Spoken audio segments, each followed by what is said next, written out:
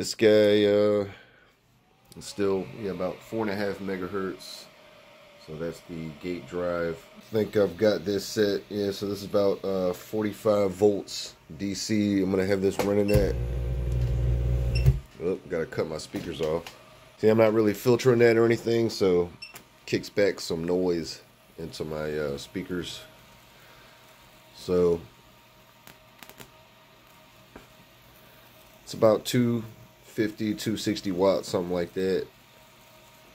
And uh, you know, it's not running too great, but it's about how that's going. About 45 volts. So I've got about uh, about 250 on the drain right now. But you know, let's just say if I can maintain a uh, like a steady loading, arc loading like that, then uh, that circuit seems to be a lot more stable, right? Gate waveform actually looks a little better, a lot less ringing. That flame is not going nuts all the time, kind of throwing it out of whack, changing the tuning. Um, you know, so let's say I would have something suspended over it like this uh, to draw the flame to, could probably ramp the voltage up a whole lot more. Um, you know, let's just say like doing like this, push some decent power out of that thing uh, without the tuning getting too out of whack.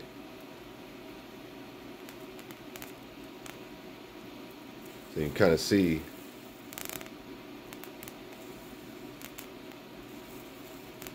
just likes being sort of more tame like that.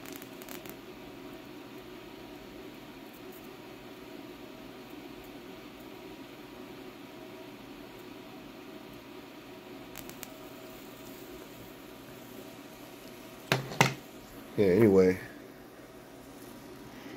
I don't know if I can uh, tune that any better. Yeah, just a little bit.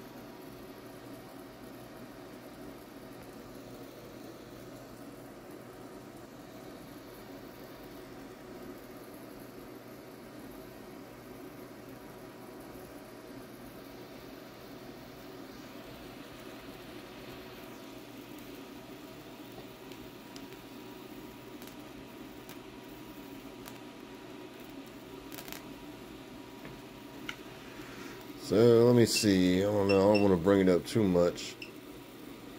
Do 47.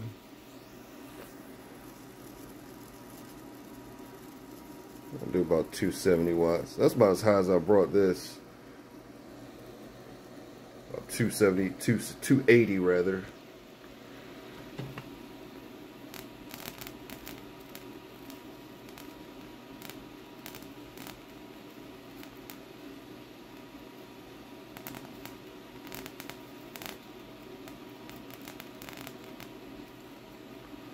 Yeah, I kind of have to do this to uh, keep that copper breakout point from uh, overheating.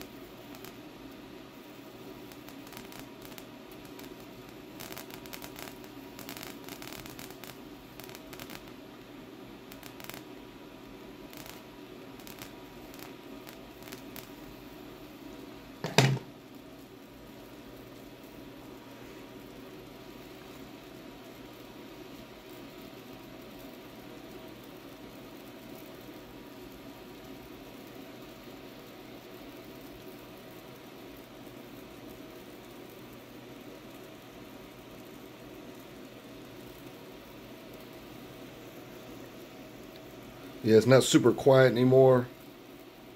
Um, lower power actually would probably be great playing music. But uh, yeah, I can actually hear some sizzling going on with this power.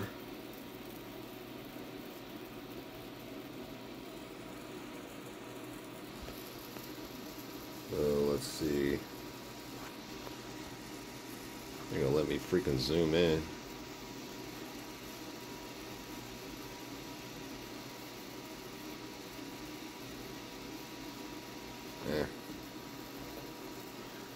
Yeah, anyway, uh, it's not bad. It's kind of hard to see it until I cut the lights off.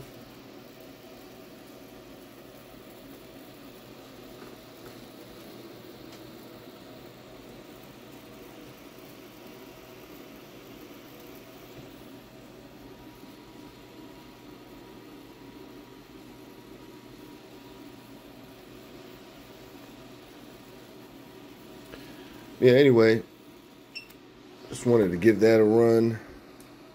Cut that off. Yeah, still cool. Just wanted to do like a real-time run. Just kind of show the uh, temperature there. Get this on there. You can see it's still still pretty cold. Put one dot on the FET, one on the uh, heat sink.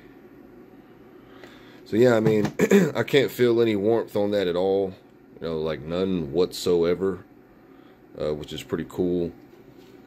Um, so I guess really the uh, probably the driver, uh, the driver, still pretty cool. Yeah, I mean every everything stays pretty cool on there. The coil itself is going to be the hottest thing. It's the the tip breakout point tip. Uh, so I got the lights down now. This is going to be a test to see if I can uh, kick-started at 47. So that's kind of one little concern. You know, I got a fairly sharp breakout point. It's not like super dull or anything. Uh, but not real sure what's going on that split second. It's uh, ramping up, trying to break out. So here we go. Hopefully it's not going to blow up. So luckily that did start up. Looks like I kind of need to tweak it a little bit maybe as things warm up, the tuning changes a little bit.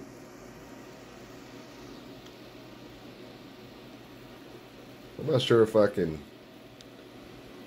focus in on the plasma. See it better. Yeah, there you go. Try to get it to drop like that. Well, it's not going to stay that way, but anyway. I wanted to uh, just go ahead and try to bring it to 50. So there goes 50. Once again, tuned it slightly differently. So that's about the point where that uh, those waveforms, I don't like them a whole lot. But again, if I just kind of tame the flame like that,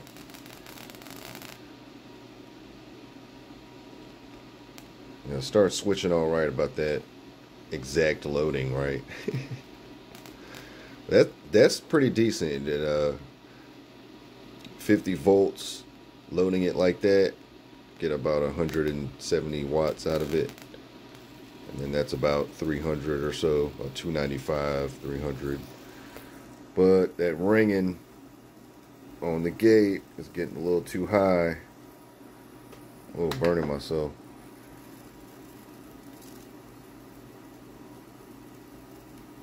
Trying to tune it a little bit.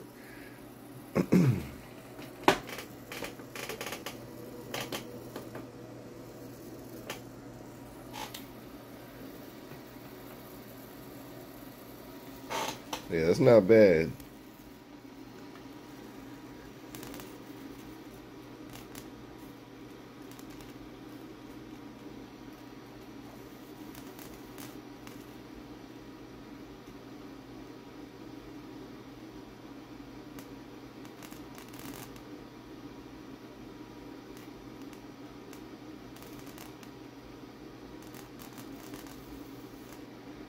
It easily get about just about three inches out that thing.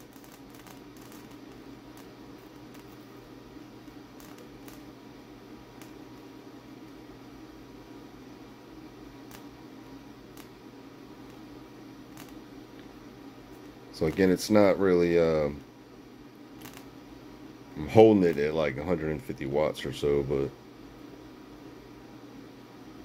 I like looking at that white hot flame a little bit more. I'm screwing up my screwdriver. Yeah, anyway, there you go. That's about 300 watts, 250 something. Uh, let me see if I can check the heat on that. So again, what 20, uh, 29.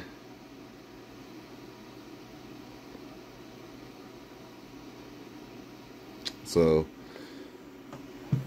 that wasn't a very long run, but you know, typically anything that's out of tune, uh, you run about 300 watts like that, about that frequency, going to be burning it up. So again, while this FET doesn't have uh, the lowest gate charge that I've seen compared to some other ones, so really this is about as high as I want to run it. That thing works great. You know, the, the uh, switching doesn't have to look superb and uh, I can run that thing for a super long time doesn't get hot